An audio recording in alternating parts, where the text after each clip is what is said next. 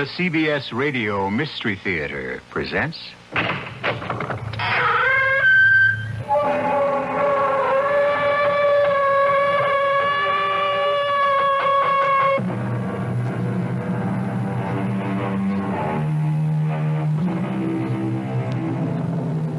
Come in. Welcome. I'm E.G. Marshall. Where do people go when they disappear? We're not talking about those folk who have every good reason and understandable motive to drop from sight.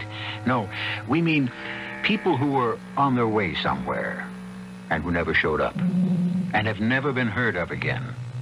And the people we're talking about were solid, substantial, dependable people. A well known judge, a famous aviatrix, a United States naval vessel, a patrol of Air Force bombers, a commercial airliner, and others too numerous to mention. What happened to them? Is there an explanation?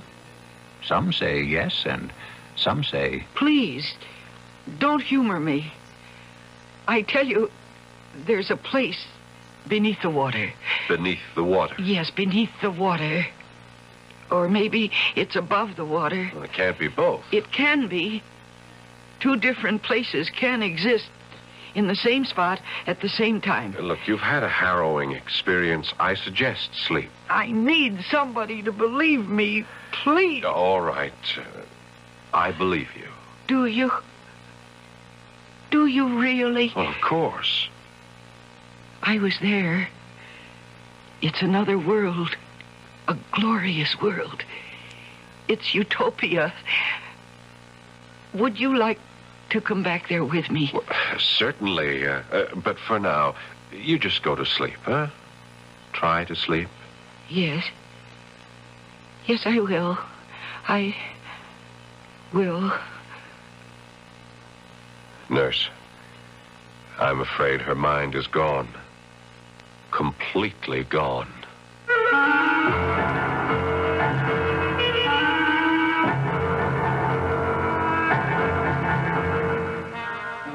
Mystery drama, The Triangle, was written especially for the Mystery Theater by Sam Dann and stars Mercedes McCambridge.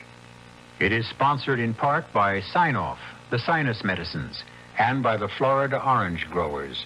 I'll be back shortly with Act One.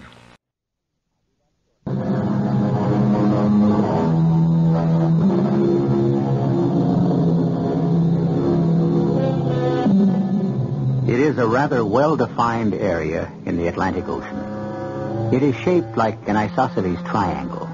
At one point lies Miami, at the second, Puerto Rico, and at the third, Bermuda.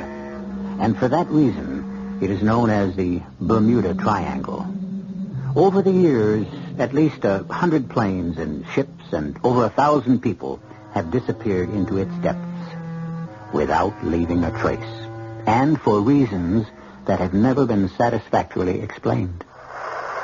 Hello there, Miami. This is your routine check from American International Flight 7, Old Lucky 7, inbound from near old London. We're now 215 nautical miles from your first outer marker, bearing 090. Speed... Uh, hold it. Hey, Mark, what's that vibration? Mark, that vibration. Hey, Miami. Miami, is... Going crazy. Spinning like a top. We're going down. Pull up, Mark. Mark, help me pull up. We're going down. Miami! I don't know what's wrong with me. Pull down. Something is pulling us down. We don't have to hear the tape again, Lieutenant. I'm very much afraid, Pete, that we'll just have to chalk this one up. There were 110 people aboard that plane, and we'll just have to. Oh, excuse me, sir. Admiral Ingram's headquarters, Lieutenant Nelson. Uh, one moment, sir. It's, uh, it's Commander Bates. No, you know what he wants, don't you? He wants to know if I'm ready to release the word. Will you talk to him, sir? I'll call him back. Okay. Uh, the Admiral will call you back, sir. Are you ready to call off the search, sir? Damn it. 110 people. Yes, sir. We knew his bearing. We could practically pinpoint his location. We combed that area as much as you can hope to comb water for five whole days. We organized the greatest peacetime assemblage of ships, planes, and men. Yes, sir. Now, don't interrupt me, will you, Pete? I have to keep saying these things to square my own conscience. I understand. Oh, don't be so damn understanding, Lieutenant. Fight with me. Argue with me. Convince me there's something else I can do. Another approach, another tack, another plan of action. Admiral, you know those stories in the papers on the air about the Bermuda Triangle? How planes and ships disappear? I know it's all nonsense. Well, you heard the pilot. The plane was just pulled down from the sky. A sudden electrical disturbance can account for practically anything. Ah, that's public relations. I'll talk to them. Now, Lieutenant Nelson. What? Uh, repeat that. Yes. Yes, the Admiral will leave at once. Sir, sir, it's unbelievable. Don't editorialize, Lieutenant. Just report. Yes, sir. They, uh, they have a survivor. That's impossible. A young woman. No one could survive five days in the water. But they've got her, sir. She's aboard the carrier.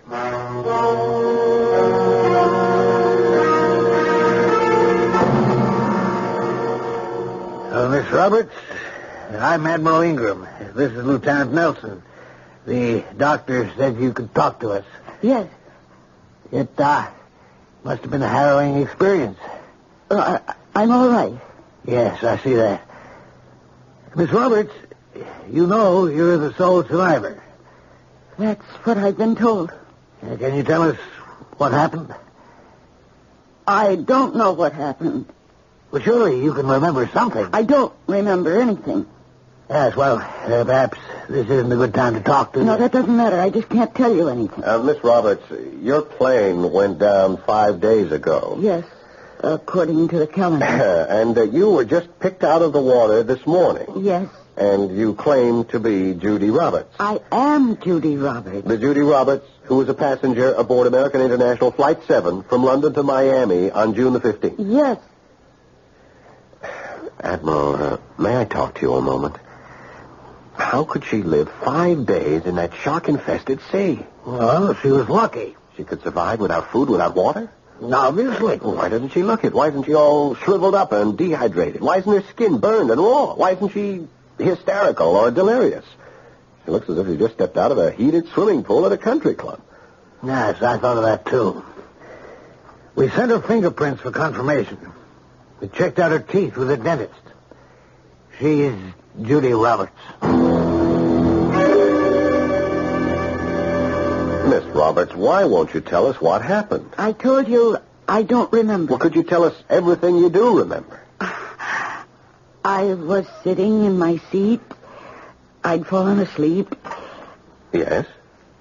and I was conscious of a loud roaring sound. I don't know if I was still asleep or awake. I had the frightening feeling that I was falling, that the plane was out of control.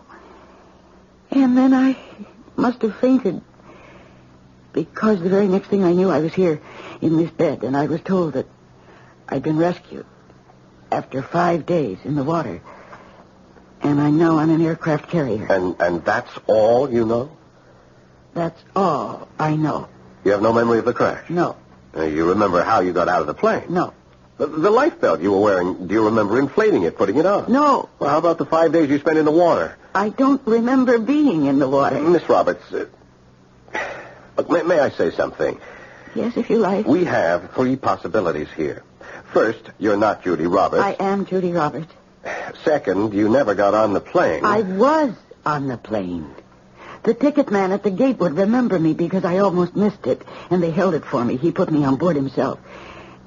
And besides, if I wasn't on that plane, how did I wind up in the water? What's your third possibility? You're lying. About what? You didn't spend five days in the water.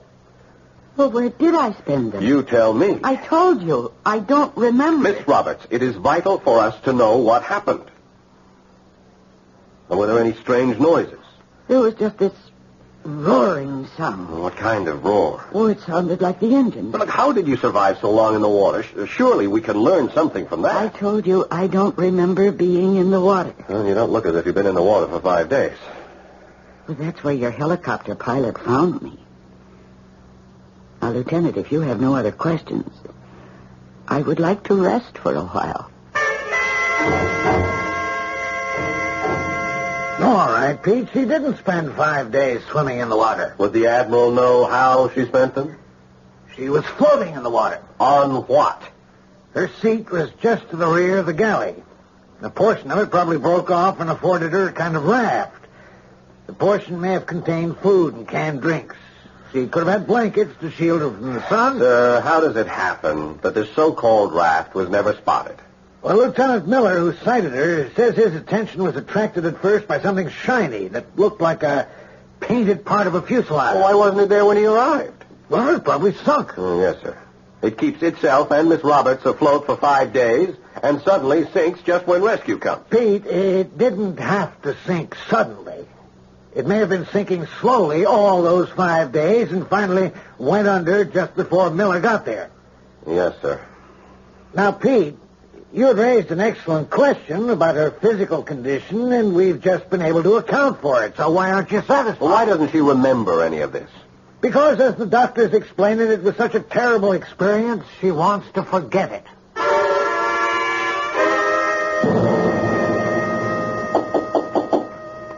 Come in.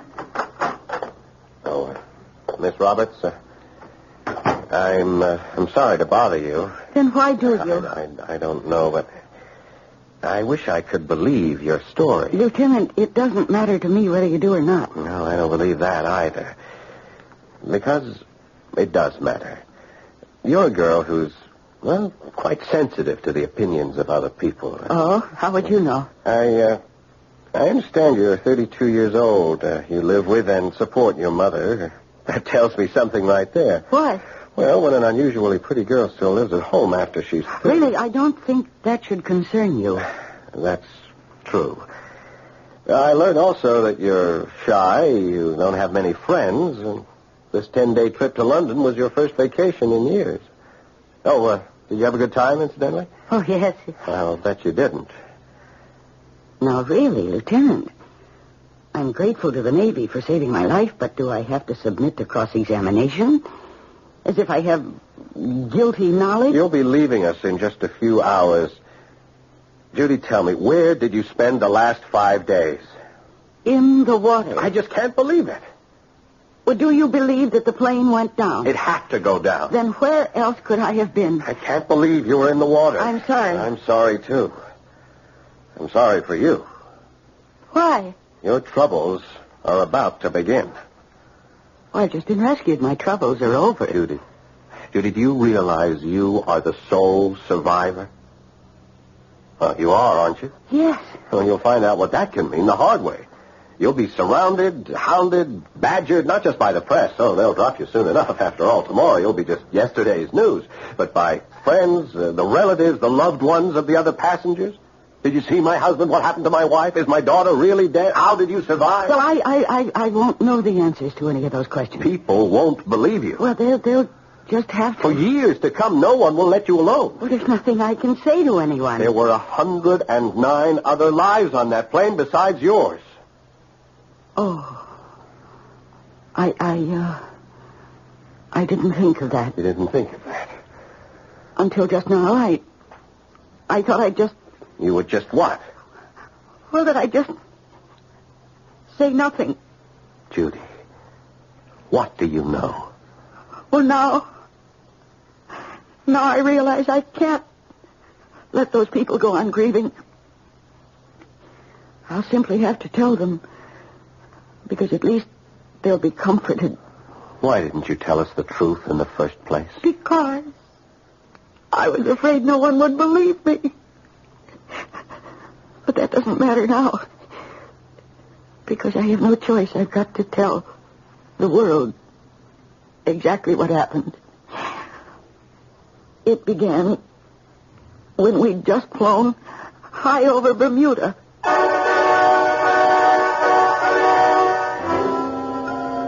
Well, properly speaking, it will begin when I shall return with Act Two in just a few moments. Some of you strict constructionists might grumble, why couldn't she tell it to us in the beginning of Act One? To which I have but one answer. It's her story, and she's telling it in her own way. But however it's told, I assure you, it's well worth waiting for.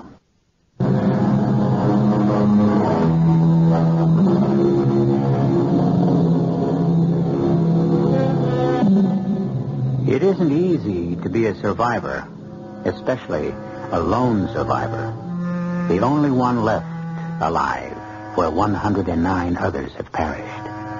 Or have they perished? Has Judy Roberts successfully survived the disaster which took the lives of everyone else on the plane?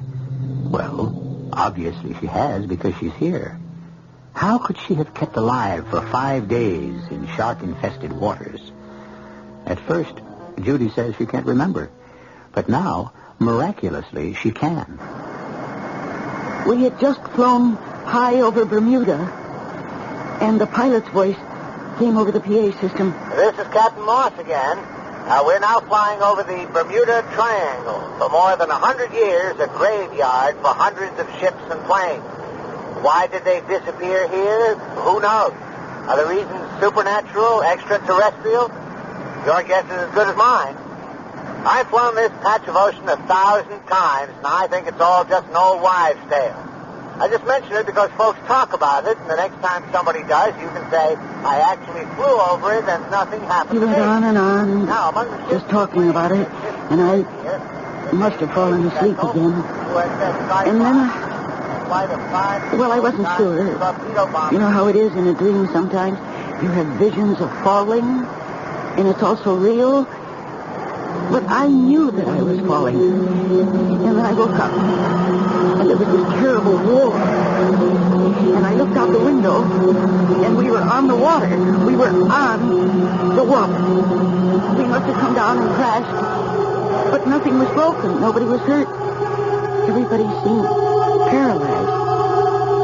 And then there was a voice, a woman's voice. It was very soft, very sweet. And it said, Welcome home. Welcome home again to all of you. I didn't know what to think. Were we dead? Were we all killed in the crash? Was this... Was this heaven? And then the voice said, My name is Aura. I'm your guide. Please don't be frightened. Everything is fine. In just a moment or two, you will adjust. You will resume your natural, normal lives as citizens of the city. Everything you think you feel now, all the ties that bind you to the illusory world you've just left, will disappear. You are coming home. Home where you belong. I looked out the window. A bright sun was shining in a deep blue sky. We were somewhere. I didn't know where. It seemed to be a large, lovely park. And there were beautiful pastel-colored buildings. Oh, what a city. What a glorious city. The trip is over. The fantasy ride is over. And all around me, people were getting up, laughing and smiling and talking. I sat in my seat. I didn't know what to do, what to think. Was it all a dream? Finally, everyone had left the plane. I was all alone. What should I do? Why are you still sitting here, my dear? I, uh, I, I don't know. The fantasy trip is over. Where am I? Who are you? You're home. Oh, no, please, I'm not home. Um, my name is Judy Roberts. I live in Miami, Florida.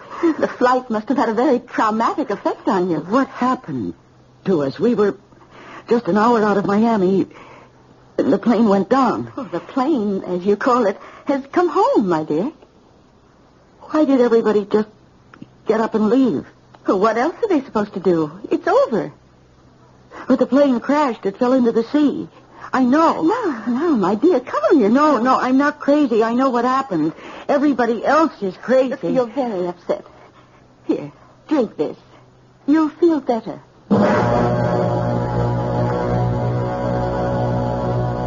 You're the very first person who went on a fantasy tour and simply cannot seem to snap out of it. Please, will you humor me? Tell me who I'm supposed to be. My dear, you're a citizen of our city. What city? The city. The city of the people. Which people? The people. Your people. Who am I? Your name is Alla. Where's my mother? Your mother? There's no record of your having a mother. Oh, dear, dear. Uh, Arda, please come in. Hello, Alla, darling. Well, you... You're our pilot. You're Captain Moss. Darling, what are you saying? You're our pilot. The pilot on Flight 7. American International Airlines Flight 7, London to Miami. We crashed. We went down. Oh, no, no. Oh, why doesn't he remember? Why doesn't he? Because it never happened. Oh, you are Captain Moss. My dear, you're ill. What have you done to us? Who are you? Arda, will you watch over her? Of course, I love her. Uh, Let me know if she isn't feeling better. I'll look in on you soon again. Captain Moss, how did it happen? How did all this happen? Listen, Alla. No, my name isn't Alla. And you listen, you're an airline pilot, and I'm a secretary. I live in Miami. Miami? Yes, please, now let me talk. We were somewhere between Bermuda and Miami when the plane suddenly went down. It crashed. I don't know why it wasn't destroyed. I don't know why we weren't all killed. Well, it must have been part of the fantasy. But everybody on the plane began acting so strangely. As if they didn't know who they really were.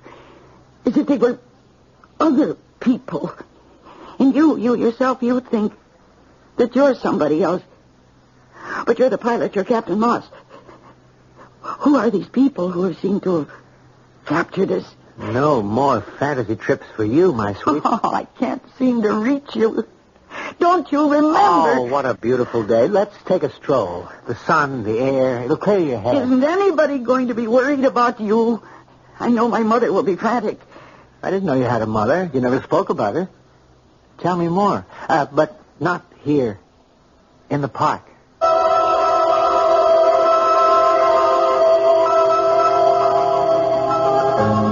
Isn't it wonderful? Isn't it lovely how happy everybody is?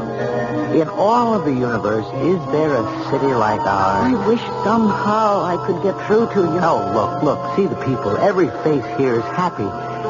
Except yours. I must know what has happened to me. We're so fortunate. We have no hunger, no poverty, no disease. Now, I have an impression from some of the fantasy trips that there are other worlds not as lucky as ours. Captain Moss, Why do you call me Captain Morse? My name is Arda. You chose it. I... I chose it. When we told Aura we wished to become betrothed, she told us to name each other. I chose Alla for you. You selected Arda for me. You... You really believe all this? Why, You've forgotten. We chose each other. We're in love, Alla. But I don't... I'm not... Hey, hey, you're trembling. Oh, my dears. Let me hold you. Why... Why aren't we in the water? Why aren't we drowned? No, no, my darling. Everything's all right. I'm here. You have nothing to worry about. Oh, I don't know what to think. Hey, look. It's starting to rain. Let's go to the museum. Hurry. Hurry. I don't want you to get wet.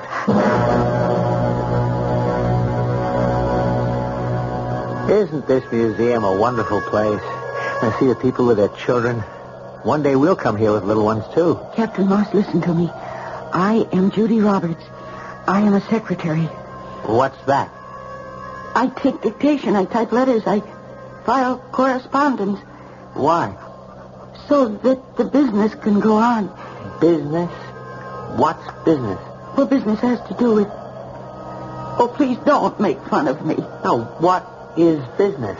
Oh, how can I explain this? If you have to explain it, it can't be very good. Well, everybody works for one business or another. Why? But, uh, to make money. What's money? Oh, oh, you can't be serious. Now, please, my dear, I'm just... Money is what you must have in order to buy things. What sort of things? What sort of things? Whatever you sort of thing, the food and clothes and whatever you need, whatever you want. But suppose you have no money. But then, then, then you do without. How can a person do without food? I don't understand. Well, what do you do here? I paint pictures. I bring them to the museum. People come here and enjoy them. My brother is a farmer. He raises fruit. He brings it to the plaza. People see it. They eat. They enjoy it. But how do things get done? How do you build houses? Everyone does what he knows how to do and shares with everyone. We suppose someone takes more than his share. I don't understand. Why would he want to do that? Oh. This, this must be utopia. Oh, why am I fighting this? Why indeed? Is there a better place? A happier place than our city? Wait, wait a minute there. In that huge space, what's what's in there? Oh, that's the fantasy exhibit. The fantasy exhibit? Yes. Artifacts from fantasy trips. Look. Those are ships. And planes. Well, that's what you want to call them. Look at that ship. That's a naval vessel. Uh, what? Yes, you can read the name. The USS Cyclops. It's a Navy ship. It disappeared in the Bermuda Triangle. The Bermuda Triangle? Yes, you know what it is. You spoke to us about it on the intercom before we crashed. Now, my darling, and you have... see, see, those Navy planes. Those five old-fashioned Navy planes. You even said what they were. Torpedo bombers. And that freighter. You even told us her name. The Marine Sulphur Queen. No. It's no fantasy. Those are real. And I'm real. And you are real. What are we doing here? What is this place?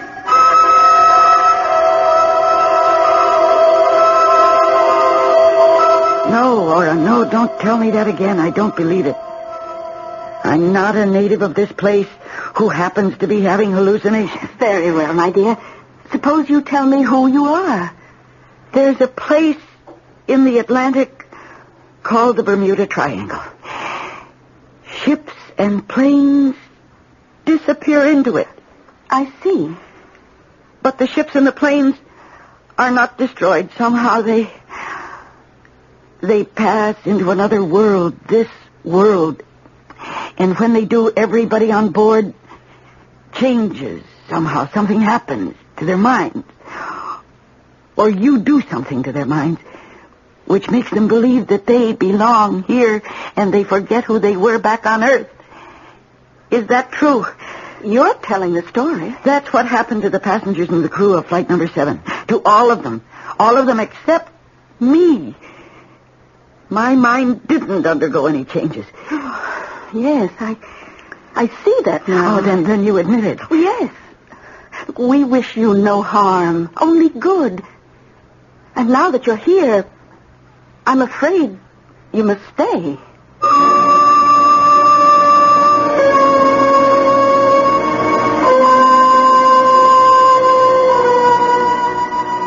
Well, in all matters of this kind, getting out is always more difficult than getting in.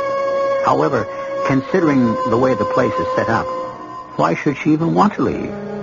You realize, of course, that she does manage to get back here, because back here is where we first met her. How? For that, you must wait my return in just a few moments with Act Three.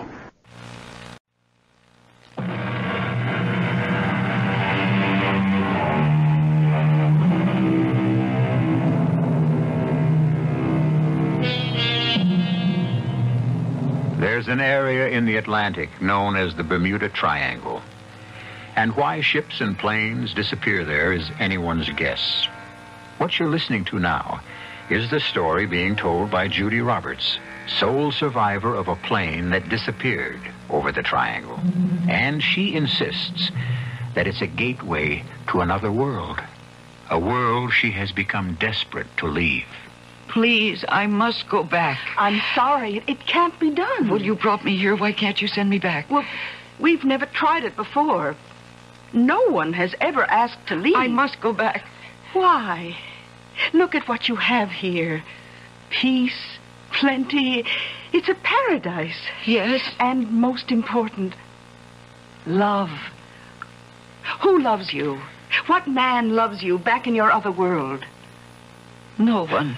Here, Arda. Very well, I shall call him Captain Moss. He loves you, and you love him. I don't know. You fell in love with each other on the plane.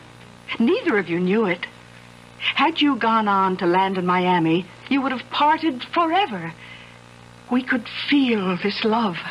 That's why we brought down your plane, so that your love could, could live.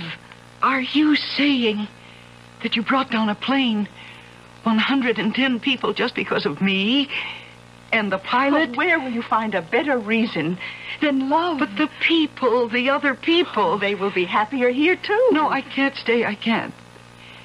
My mother, she, uh, she's old. Oh, not that old. And she's ill, and she needs me. So does Captain Moss. Well, if I.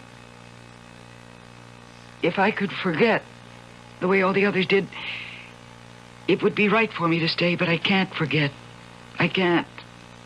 Whatever it is you do to us, whatever it is you use, it doesn't seem to work with me. And as long as I know who I am, I can't be happy here. In time, perhaps. No, no. Don't take that chance. A chance? For your own sake. Every face I see here is smiling. But my face would be the different one. Everybody here is happy. I'm sad. Perhaps I would introduce this unhappiness, this sadness, this discontent into your city. Perhaps because of me, there would be trouble. If you go back, you will live to regret your decision. Oh, I regret it already. But please, please let me go back. Oh, my dear. Please, please. Even if I'm wrong, I can't help it. That's me. That's how I am. Very well.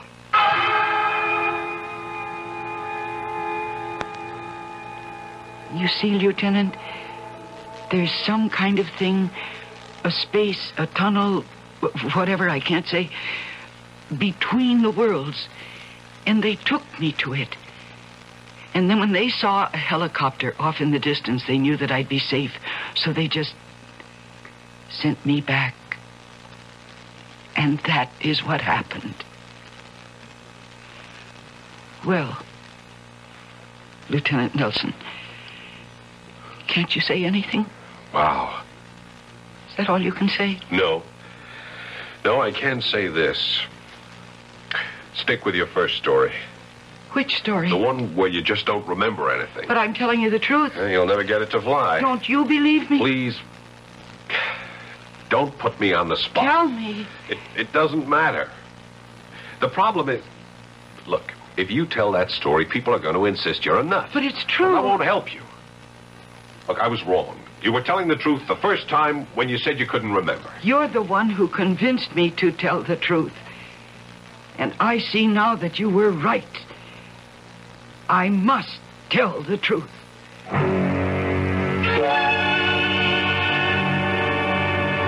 Admiral, we have to do something. Yes, well, what can we do, Pete? Remember, she's not a prisoner. But look, Admiral, We've got to bring her to shore. And she's free to go. you heard her story. Yes? Would you know what will happen when she tells it? Yes. People will say, poor girl, she's undergone such a terrible ordeal. No wonder it affected her mind.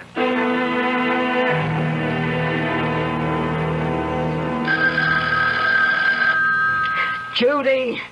Judy! Yes, Mama. Do something about that confounded phone. I can't, Mama. It'll just keep ringing. Well, take the receiver off the hook or something.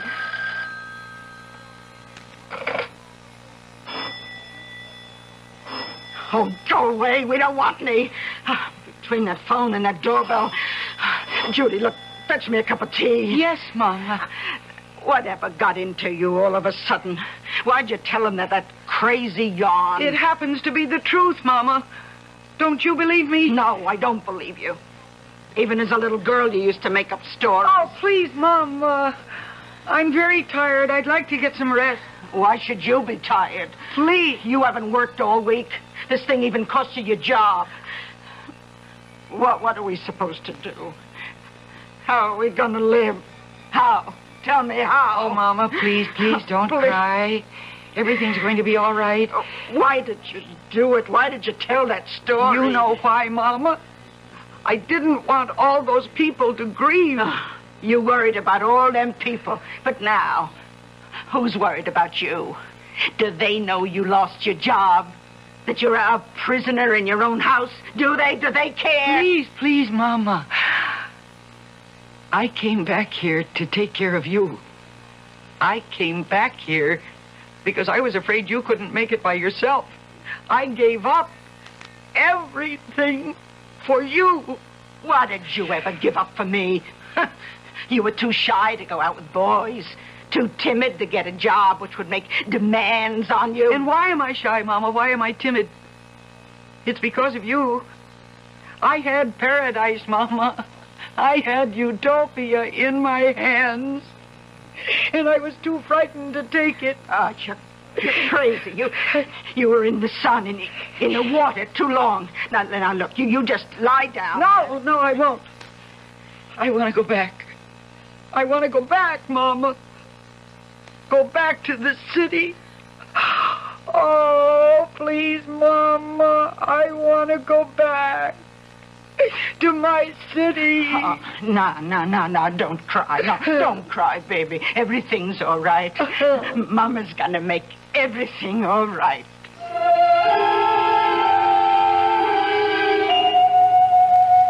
There's nothing further on Judy Roberts' disappearance. She left from the rest home in which she was staying early this evening. Admiral, I think the police could find her if they checked out the local boatyards. Is that so, Lieutenant? Yes. Look, I would say she rented herself a boat, and she's gone out to look for her city again. Yeah, there's a possibility. Is there any way the Navy could be interested? No, not officially, Lieutenant. You see, we can't search for anyone until after it's assumed they're on the water or in it. And then we have to be asked or ordered. Yes, I was afraid of that. Are you qualified in torpedo boats? What? Uh, uh, no, uh, no, sir. Well, if you want to log in some time. Yes, I, I understand, sir. As a matter of fact, I might just come along for the ride.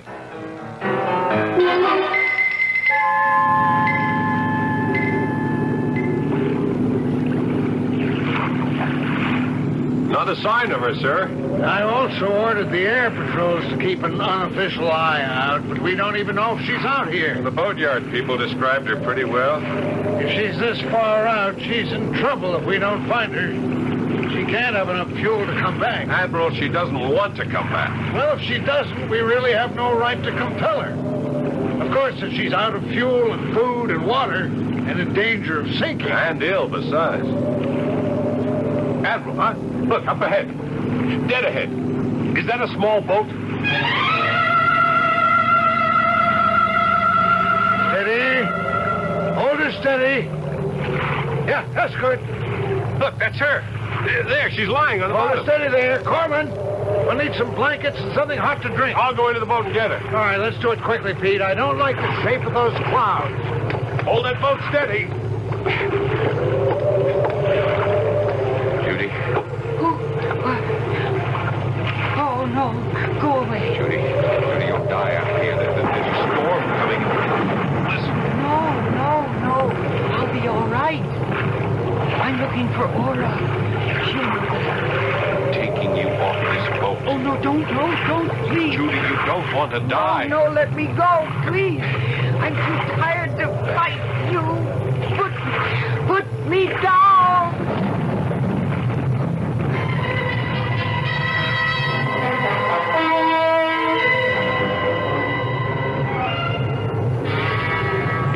now, Judy. You'll be all right. No, no, please let me go. Go, go where? You're a couple of hundred miles from land. We're in the middle of a storm. I'll jump overboard. Oh, that's crazy. Listen, listen. Can you hear that? Do you hear it? That roar. That roar that I told you about. I heard it on the plane. We're falling. Ah, we're falling. Don't you feel it? Something wrong with the boat. We must have been swamped. We're, we're being pulled down. I gotta get you up on deck. We gotta get out of here. No, no, no. It's all right. Come, we gotta get out. We're only falling. falling. You'll be all right.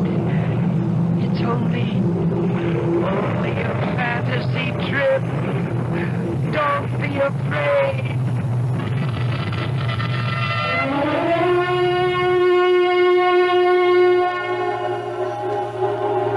Welcome home. Welcome home again to all of you.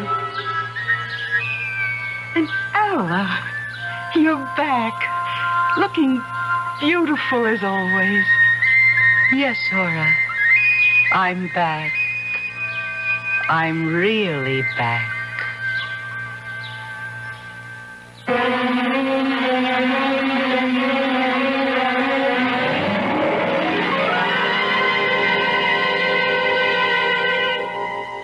According to the papers and the broadcasts, a torpedo boat went down in a violent storm with all hands. It's true the storm raged in the area of the Bermuda Triangle, but, well, what does that mean? Ships and planes have a habit of disappearing. So do I, but only for a few moments. I, at least, shall return shortly.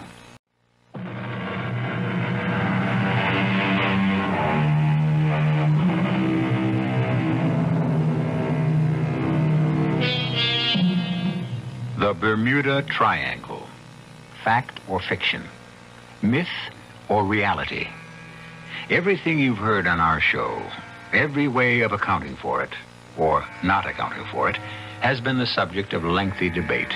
Is it the passage to another world? Some insist it is. Is it the playground of a superior race of men who amuse themselves with us mere mortals? There are those who believe it. Our cast included Mercedes McCambridge, Paul Hecht, Bryna Raeburn, and Robert Dryden. The entire production was under the direction of Himan Brown. And now, a preview of our next tale. If he wasn't strangled, what was the cause of death? He also has a bruise on his head. Uh-huh. Was he struck? He may have been. On the other hand, he may have hit his head against some sharp object when he fell to the floor. Dr. Benson, do you ever commit yourself? Uh, for example, if your wife asks you if you love her, what answer do you give her? I, sir, am a bachelor. Uh, well, now, he may or may not have been strangled. He may or may not have been bludgeoned. What other foundation of shifting sand can you give me to rest a hypothesis on? On the other hand, he may have died of fright.